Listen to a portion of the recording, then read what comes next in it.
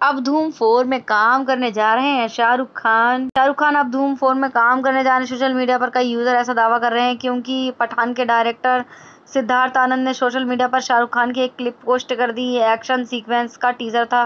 साथ में लिखा, कुछ बहुत खास आने वाला है। इसमें फैंस की उम्मीदें जग गई हैं। उन्हें लगा कि फाइनली शाहरुख को धूम में ले ही आया। मगर यह एक ट्विस्ट है।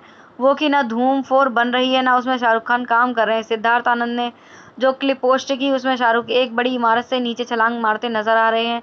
इस वीडियो में शाहरुख काली टी शर्ट के ऊपर काली लेदर की जैकेट पहने हुए इसी वीडियो को ये कहकर फैलाया जाने लगा कि ये धूम फोर की क्लिप है। सिद्धार्थ आनंद डायरेक्ट करेंगे और शाहरुख लीड रोल करेंगे। यहाँ देखिए कुछ ट्विस्ट जिसमें घुमा फिराकर बात ये कही गई। असल में ये एक एड फ़िल्म का टीज़र है, कुछ दिनों पहले।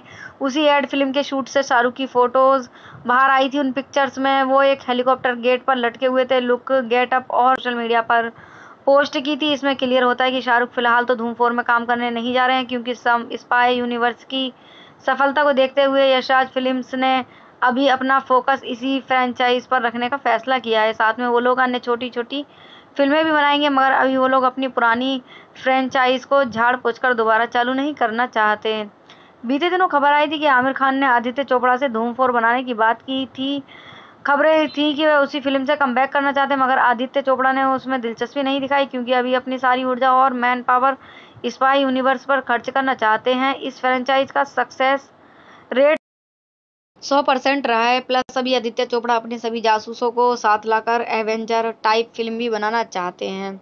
जहाँ तक रही शाहरुख खान की बात तो वो पठान के बाद इसी स्पाई यूनिवर्स का हिस्सा बने हैं।